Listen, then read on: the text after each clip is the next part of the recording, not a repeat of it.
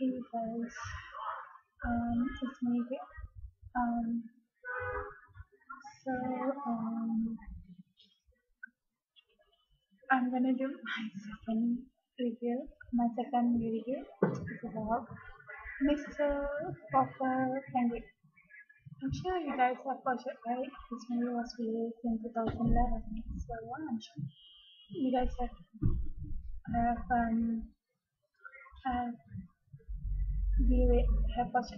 This is like I'm still gonna do my movie. This is I'm gonna do my review about this film because um when I was in 2000 when when this when this film was released in 2011 I was really excited and I really enjoyed watching this movie. So basically I'm doing my review about this movie. So for those who haven't watched this movie, it's still not too late for you guys to watch it. Buy a DVD and watch it. That's what I think. okay, um, let's not waste time. Let's go to um, let's go to my review about Mr. Popper Penguin. Okay, Mr. Popper Penguin is a movie based on an average guy who is a workaholic. All of a sudden, receives a package dad that contains something valuable that will change his life forever.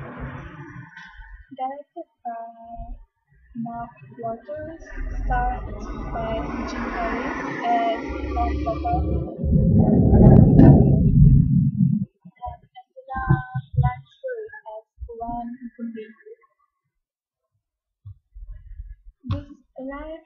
live-action comedy was inspired by the classic Newbery Award-winning film book Mr. Popper and.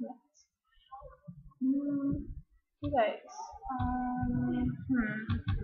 So, basically, the life, this movie is about um, the life of a businessman played by Jim Carrey started to change after he had inherited six cute creatures you guys, I'm telling you guys like I really adore penguins. They're like so cute. They're very cute and they just look so good.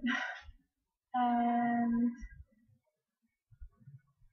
and and after he after he had inherited six those six cute penguins, um, he changed his apartment into a winter wonderland.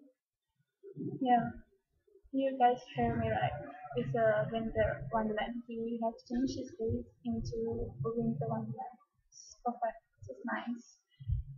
And because of paying too much attention with the penguin, his professional side started to unravel. Hmm. Started to unravel and started to unravel. There's no actual violence in this movie except for a certain scene which is the zookeeper is hit at the face with his own hand and his depictions of busy by absent father and how sensually his death is received by his grown-up son may be confusing or upsetting to some sensitive child children. So, um, so for those who have a sensitive children, for, for those parents that have sensitive children, make sure they make sure they make sure you guys explain to the children about this thing. Explain to them why is this thing happening, why is this happening to them, and yeah, explain to them. okay overall this movie is nice to watch. It's nice to watch and it's good to watch. It's perfect to watch. It's nice to watch.